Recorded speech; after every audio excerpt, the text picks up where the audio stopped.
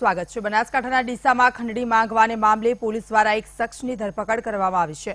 મહત્વનું છે કે ડીસાના કિશોર પંચાલ નામના યુવકે નલિન પટેલ પર તેની બહેન સાથે છેડતી કરવાના આક્ષેપ કર્યા હતા. ત્યારબાદ સમાધાન કરવા મામલે વીસ લાખ રૂપિયાની ખંડણીની માંગ કરવામાં આવી હતી અને આ મામલે ડીસા ઉત્તર પોલીસ સ્ટેશનમાં ફરિયાદ નોંધવામાં આવી હતી. ત્યારબાદ ડીસા ઉત્તર પોલીસે કિશોર પંચાલની ધરપકડ કરી હતી અને આ ઉપરાંત આ ઘટનામાં મદદગારી કરનાર ભાવેશ માળી ફરાર હતો. ત્યારે હવે ભાવેશ માળી પાલનપુર હોવાની બાતમી એલસીબી પોલીસને થતા પોલીસ દ્વારા ભાવેશ માળીની ધરપકડ કરવામાં આવી છે.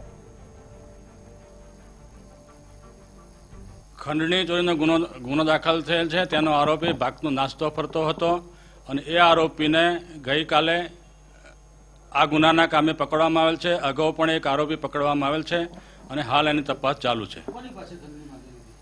ખંડણી છે નલિનભાઈ ડોક્ટર પાસે.